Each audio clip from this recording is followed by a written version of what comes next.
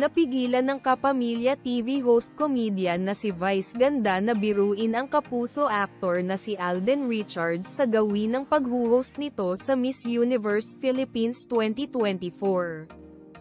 Ginanap ang Grand Coronation Night sa SM Mall of Asia Arena, Pasay City, noong Miyerkules ng gabi, May 22, 2024 kung saan si Alden ang isa sa mga main host kasama sina Jeannie May Jenkins at Miss Universe 2022 Rabani Gabriel.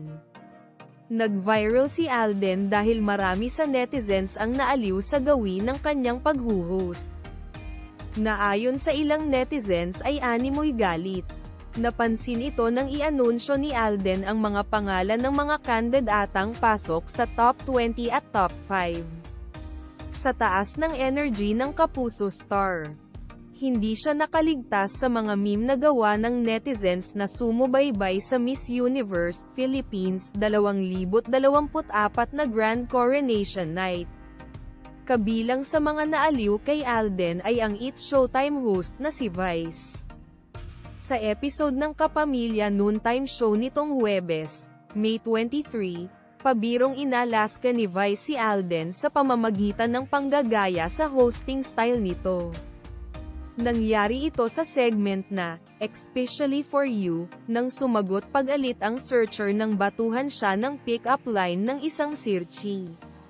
Natatawang hirit ni Vice. Parang si Alden sa Miss Universe Philippines kahapon. Sa puntong ito, Ginaya ni Vice ang pasiga na gawin ni Alden nang i-anunsyo ang mga bayan ng kandidatang pasok sa top 20 at top 5 ng naturang beauty pageant. Ani Vice, sabi ni Alden, Bulacan, Cebu. Galit si Alden kahapon, di ba? Sabi pa niya, Quezon Province. Hi Alden. Sa ulat ni Aubrey Kerempel ng GMA Integrated News nitong biyernes, May 24. Nahingan ng reaksyon si Alden sa mga kumakalat niyang memes sa social media.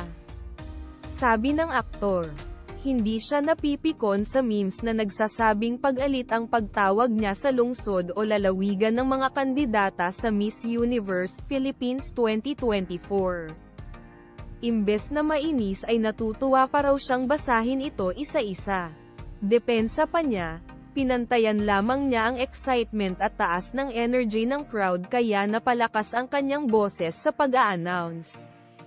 Huwag kalimutan mag-like, comment at subscribe sa channel na ito for more showbiz updates.